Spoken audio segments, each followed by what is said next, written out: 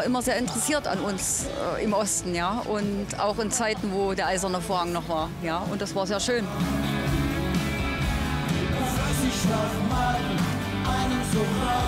Ich bin hier im Osten aufgewachsen und trotzdem war Udo bei allen Sachen präsent. Die Lieder damals, die haben uns Mut gemacht. Nicht? Er wollte die Mauer kaputt machen. Wir konnten es gar nicht fassen. Leipzig!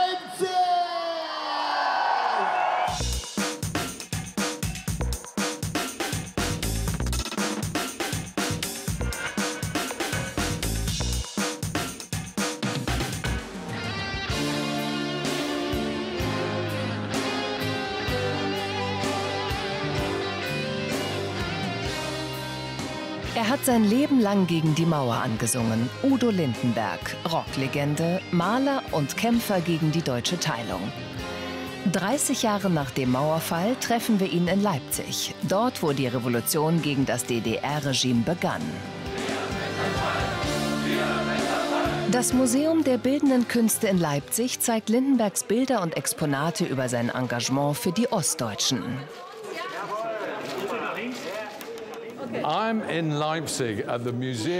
Ich bin hier im Museum der Bildenden Künste in Leipzig in einer ganz besonderen Ausstellung. Denn der Künstler ist eine Legende der deutschen Rockmusik. Und ich benutze das Wort Legende nicht einfach so. Seit fast 50 Jahren hat er die deutsche Musikszene geprägt. 50, yes, 50 years. Udo Willkommen. Udo Lindenberg. Thank you. The eternal young talent. The eternal young talent. Ganz genau. Sie sind jetzt über 70 und spielen in ausverkauften Stadien für ein größeres Publikum als jemals zuvor. Well, it's great. It's so fantastic, you know. They all love, you know, the Panic Orchestra, our show, you know. They, they carry us through the show, through three hours, you know, of real action and real sports and all that, yeah, yeah. Uh, with their love, yeah. Ah, here, we have a nice egg liquor. You, you know this? This is a very ah. famous, famous drink. Okay. It's, it's made from eggs, right? It's yeah. egg liquor, you know, and it brings a lot of luck to us. Plus, I do gurgling with eye liquor. on stage really? because it's good for, for the, the voice. Cheers. You know? What I'm going to show. Cheers, yeah. Okay.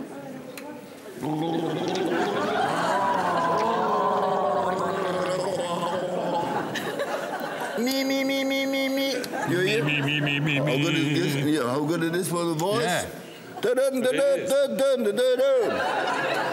Wer ist dieser unglaubliche Mann? Mehr über Udo Lindenberg. Und ich werde mich nicht ändern. Udo Lindenberg ist so etwas wie eine Marke. In Deutschland kennt jeder den Sänger, der in einer Suite im Hamburger Hotel Atlantik lebt. Ein ganzes Museum über sich selbst gestaltet und ein Musical mit seinen Songs kreiert hat.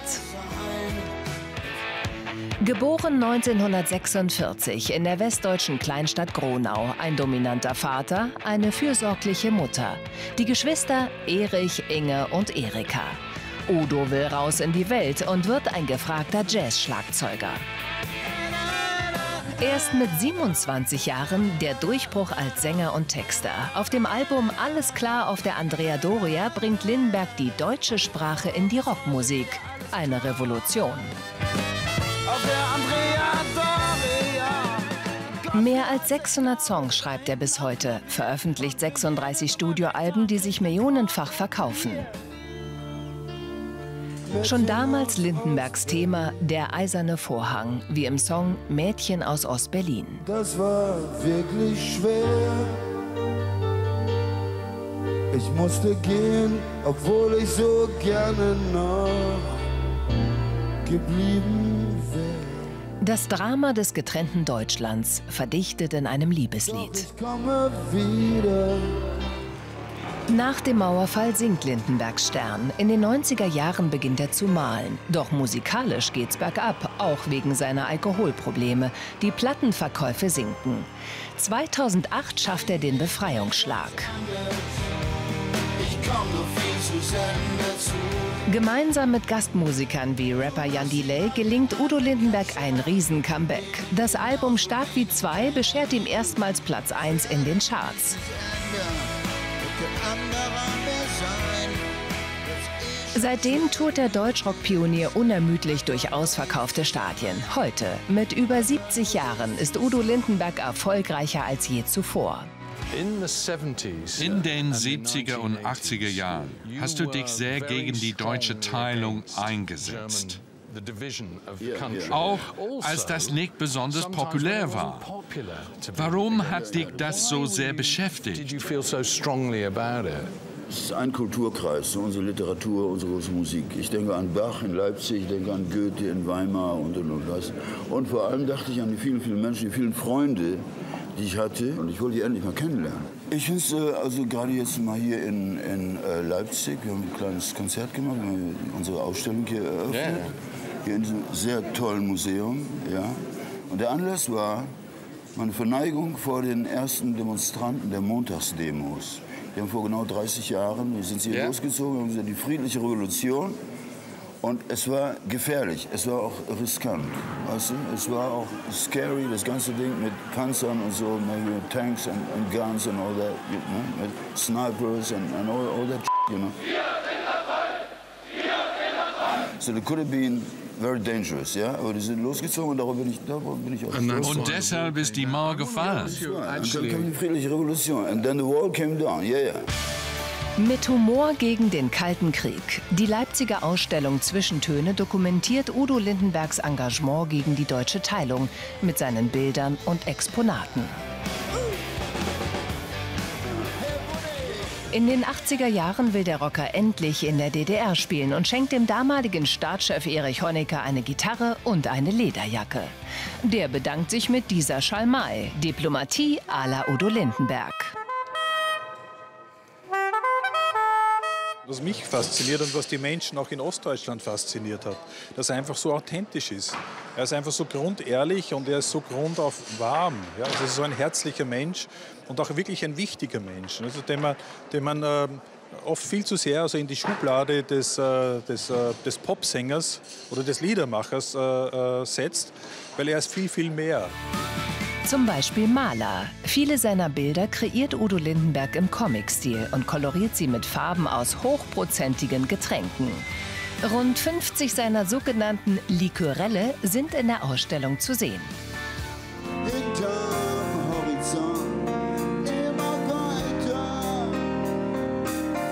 Zur Eröffnung gibt Udo Lindenberg ein kleines Konzert im Foyer des Leipziger Museums vor einigen hundert überglücklichen Fans.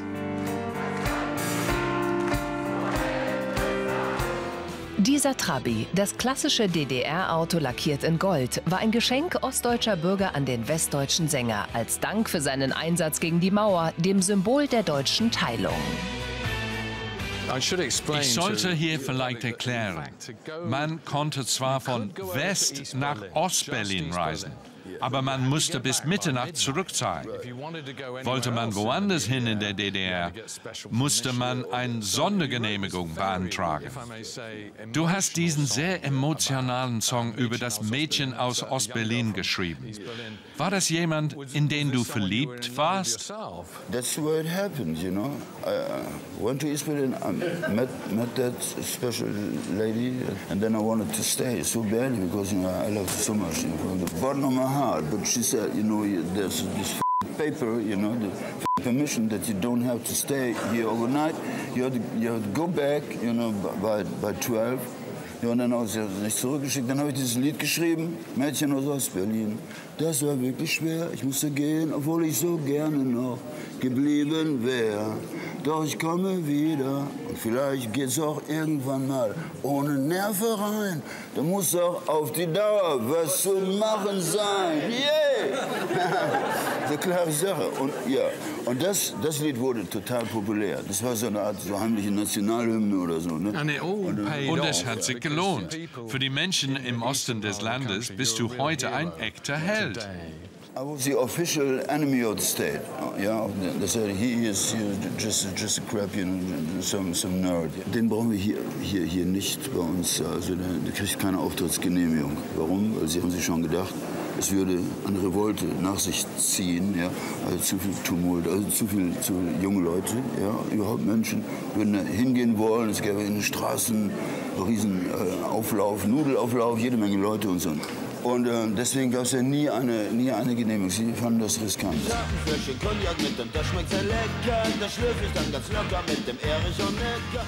Sonderzug nach Pankow, ein ironischer Song, gerichtet an Ex-DDR-Staatschef Erich Honecker.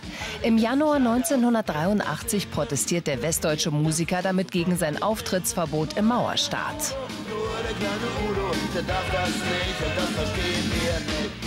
Lindenbergs respektlose Bezeichnungen des Staatsoberhauptes als Oberindianer, sturer Schrat und Rocker wurden von der sogenannten Stasi, dem Geheimdienst der DDR, angeprangert, die Verbreitung des Liedes unter Strafe gestellt. Doch im Oktober 83 darf Lindenberg dann plötzlich doch nach Ostberlin. In der Hochzeit des Kalten Krieges will sich die DDR kooperativ zeigen. Sogar eine Tournee wird ihm zugesagt. Ich freue mich sehr, dass es nun losgeht nach acht Jahren. Heute der Auftakt zur großen DDR-Tournee durch mehrere Städte der DDR nächstes Jahr. Was der Rockmusiker nicht weiß, jeder Schritt von ihm wird von hunderten Stasi-Beamten observiert. Dann der Auftritt im Palast der Republik.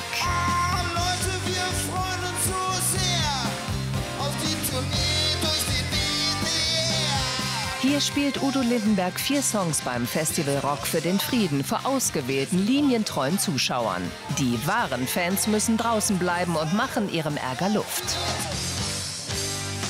Udo Lindenberg bleibt unbequem, fordert Abrüstung in West und Ost. Raketenschrott in der Bundesrepublik und in der DDR. Nirgendwo wollen wir auch nur eine einzige Rakete sehen. In einem Papier der Stasi heißt es anschließend, Lindenbergs Äußerungen zur Abschaffung der Raketen in Ost und West, seine vulgäre Sprache und sein dekadentes Äußeres hätten der Veranstaltung nicht entsprochen. Die Auftrittserlaubnis sei eine politische Fehleinschätzung gewesen. Udo Lindenberg bleibt für die Staatsführung zu unberechenbar. Seine Tour wird gestrichen, die Fans sind enttäuscht. Und das ist alles, wie gesagt, diese ähm, Malerei ist mit Likörfarben. Das ist auch eine weltweite Novität. Eine absolute Erfindung. Das noch? Es ist einzigartig. Hast du es patentieren lassen? Ja, ja, es ist patentiert, ist ohne... Nobody else is allowed to do this. Nobody else can only, do this. Lin- Lindyismus. We call Lindyismus. You know, Lindyismus. Lindyismus. Das ist eine Malerei. Eine neue Form von Malerei, Lindyismus. with liquor. You, you can even, you see, uh, get, get some more liquor on that picture. Yeah, yeah, yeah, yeah. You see, this is the color, the eye. And then when we got together, then we had the Brandenburg Gate, you know, and then we had a big, big party, you know. As I told you before, you know, the greatest party that, that I ever experienced, you know, that, that I was part of, you know. The big, big party at the Brandenburg Gate, you know. And then this is like gold. This is, you know, go- goldene Zeiten. und This well, chance of coal, yeah, back then, you know. Yeah, yeah, yeah. Blühende Blühende Landschaft. Blühende Landschaft. The blooming landscape. Schieres Gold. Hätte ja auch richtig gut was werden, wird auch noch. Hat ein bisschen länger gedauert. Dauert ja auch noch immer, weil wir müssen noch mehr zu, zueinander finden. Die Menschen im Osten und die Menschen im Westen. So. Mit der Sensibilität, wie ich sagte. Mehr aufeinander zugehen, voneinander lernen und so. Weißt du, ne? 1990 und dann können wir endlich unsere, unsere Shows machen. 1990, das war natürlich... In der Nacht von 9. November fiel die Mauer. Weißt du noch, wie du das erlebt hast? Wo warst du damals? I was in Munich. I was in Munich, you know, some, some, some, party or so. And then they gave me a call and said, look at TV, guck dir Fernsehen an, you, you, you, you won't believe. It is, you know, the dream came true. They tear down the wall, you know, the wall is over, yeah. And then next plane was mine, you know, so, so then went to, to Berlin. And then a little un undercover, you know, with some masks, you know, with a mustache and all that, you know, yeah. Otherwise, die, die, die hätten mich jetzt zu Tode äh, umarmt, weißt du, ne? Und dann haben wir so eine tolle Party und es war die beste Party, es war die geilste Party meines ganzen Lebens. Und, und dann, und dann nur, nur, nur so zehn Tage danach haben wir dann schon angefangen mit der Tour. Die Tour vorbereitet, dann die erste Tour. Das war so ein, so ein Tränenmeer, weißt du, die erste Konzert in Suhl als erstes Konzert, aber dann in Leipzig in der Messehalle. Und endlich konnten die Leute selber bestimmen, wer kommt, die, auch die, die Menschen konnten es bestimmen und nicht mehr die Regierung. Und Jahrelang haben Udo Lindenberg und seine Fans auf diesen Moment gewartet. Im Januar 1990 geht der Traum in Erfüllung. Eine Tournee durch die DDR. Leipzig ist die erste größere Stadt der Tour. Im Juni 2019 spielt Lindenberg wieder einmal in Leipzig. Manche Fans erinnern sich noch an das erste Konzert nach dem Mauerfall. Für mich Gänsehaut von der ersten Minute. Da hat mit Cello damals angefangen. Der erste Titel, den er gespielt hat. Da haben wahrscheinlich viele Tränen in den Augen gehabt. Also es war gigantisch. Leipzig!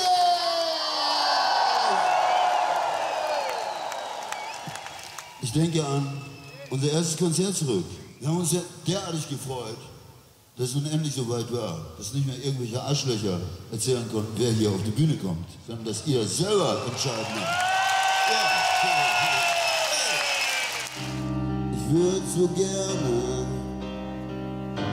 bei euch mal singen,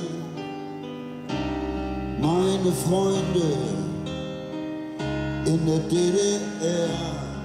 Er war immer sehr interessiert an uns äh, im Osten, ja, und auch in Zeiten, wo der eiserne Vorhang noch war, ja, und das war sehr schön. Für mich war schon immer eine coole Socke mit einem coolen Hut und einer coolen Brille. Das ist für mich eine ganz emo- emotionale Sache. Ich bin hier im Osten aufgewachsen und trotzdem war Udo bei allen Sachen präsent.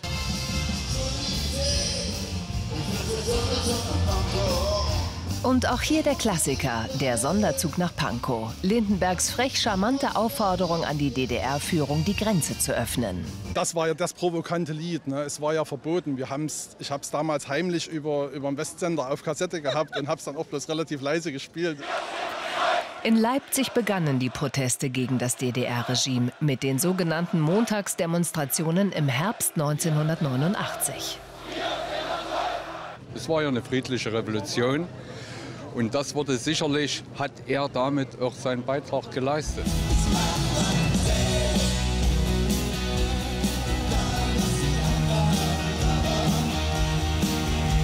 Für Udo Lindenberg und seine 10.000 Fans in der Leipzig Arena ist der Abend ein ganz besonderer. Und wie bei seinem Konzert vor drei Jahrzehnten hat mancher eine Träne im Auge. Wir feiern jetzt 30 Jahre Mauerfall. Bist du glücklich darüber, wie sich alles entwickelt hat? I see today im Zeitalter der, der, der Clowns, du hast ja überall weltweit Populismus, du als Nationalismus, aber Nationalismus ist genau der falsche Weg. Natürlich gibt es nicht nur in Deutschland, es gibt es ja nur überall. Du hast ja überall die Johnsons und, und die Trumps und, und, und Nationalgedröhne und so weiter. Und das haben wir leider auch in Deutschland. Deutschland finde ich es besonders peinlich vor dem Hintergrund unserer Geschichte. Ne? Es ist so, dass, ähm, dass es ähm, uns Sorgen macht, ist ja klar. Aber die große Mehrheit der Deutschen äh, findet das total gut, dass wir so ein tolerantes Land haben und, und, und ein vielfältiges Land, weltoffen und so. Könntest du dich in ein paar Worten selbst beschreiben? In Deutschland kennt dich jeder, aber vielleicht nicht im Ausland. Es ist so, ich singe ja Deutsch, ich singe deutsche Texte. Ich, ich singe bisher sehr wenig englische Texte, was eigentlich schade ist. Wir sollten auch Englisch singen. Aber als, als ich anfing als junger Musiker mit meiner Singerei oder so, da gab es keine deutschen Rocktexte. Genau. Es hard to believe, aber es gab so etwas nicht. Man muss also die Straßensprache, der Sound auf, auf Rock'n'Roll, weißt du, ne? ja? dieser, dieser wie ein rauer Straßenwind, weißt du, wie auf der Straße sprechen und so. Ne? Ja? Rockmusik war immer in Englisch ne? und ist auch schade. In einem Land, in dem es so große Sprache gibt, jetzt denken wir an Brecht, an, an Goethe, an Kleist, an, an so viele Heiner Müller, an so viele große Schreiber, ja? Und das hier, die deutsche Sprache ist praktisch verloren gegangen. Also Ja. auch, über, über den Krieg, über die Nazis, die ja viele von den großen Schreibern ver, verjagt haben, wenn sie sie nicht ermordet haben in KZs. Sie mussten flüchten. Deutschland gilt ja als Land der Dichter und Denker. Es gibt einen englischen Song von dir, The Germans, die Deutschen. Der ist sehr lustig. Du reimst Ladies auf Mercedes. Das finde ich super. Und du reimst Schiller auf Thriller. Ich will mehr davon. Ja, Na, ja, ja, ja, me too. Wir mussten aber erstmal die deutsche Sprache wiederfinden, ne? wiederfinden und so. Das war auch, auch unsere Aufgabe. Ich hatte dann irgendwie, ich, ich hatte so ein paar Eingebungen, da schon der Heilige Geist auch dabei und so, ne? ja. Und verschiedene Kräfte aus dem Underground oder wie auch immer. Und dann entstanden diese deutschen Songs. In Deutschland kennt es jeder, in Deutschland mag das auch jeder, ist auch eine starke Korrespondenz zwischen meinen Texten und, und, und der Art, wie die Leute auf der Straße aussprechen, so Klartext, geradeaus, weißt du? Denn es ist nie zu spät, um nochmal durchzustarten. Hinter all den schwarzen Wolken wieder gute Zeiten warten. Wieder geile Zeiten warten. Wieder gute Zeiten warten. Ich glaube, die Leute, die kein Deutsch sprechen, können trotzdem zu deinen Konzerten gehen. Denn deine Auftritte heute sind riesig und wie Theater. Du erzählst immer Geschichten. Andere deutsche Rockmusiker machen das nicht. Aber du bietest die große Show. Eldorado, ich komm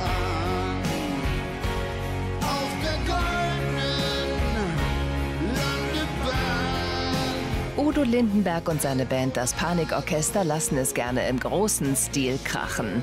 Die Konzerte gehören zu den aufwendigsten und auch teuersten Shows in der Musikbranche, auch international. Ein Zeppelin, mehr als 100 Mitarbeiter und 10 Riesentrucks für Bühne und Technik begleiten Lindenberg bei der Ich mach mein Ding Tour. Du spieltest Cello in jedem Saal unserer Gegend.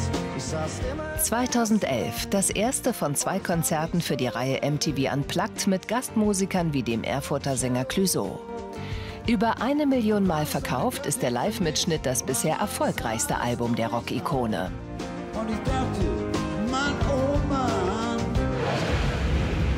oh. Udo Lindenberg, auch ein Profi für spektakuläre Auftritte.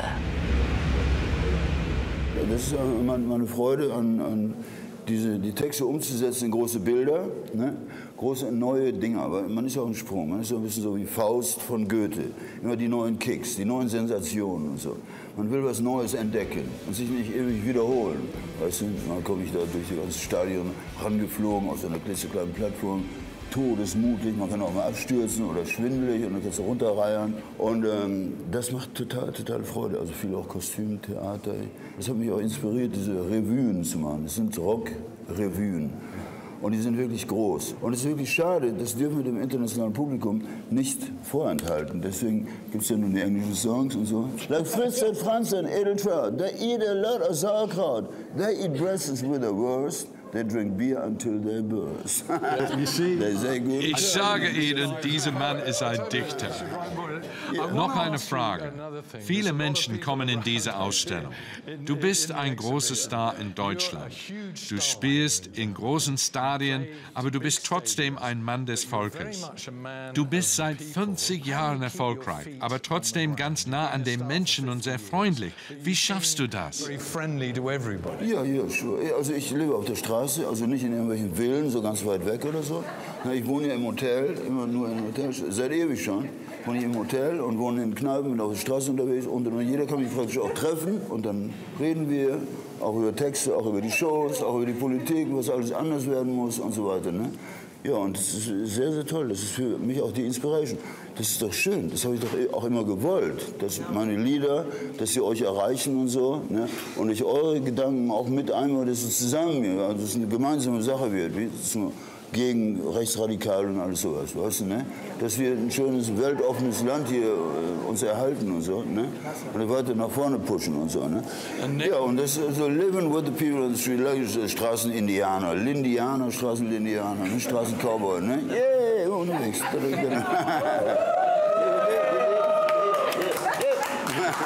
Wir freuen uns jetzt schon, wir sind ja nächstes Jahr wieder auf Tournee. Yeah! Ist ja wieder auf Tour. Und das ist auch schön. Das ist, ist ja auch mein Zuhause, richtig. Du hast ja auf der großen Bühne. Und dann mit euch und die, große, die Panikfamilie. Wir sind ja wie eine Familie, ne? Das ist so, ja, ja. Ja. Fantastisch, ja, Jahr in Dresden. Ne? Ja, das War aber auch schön. wieder. Aber erst nach Kommt ihr auch, ne? Wir kommen. Ja, ja, Leipzig, überall, klar.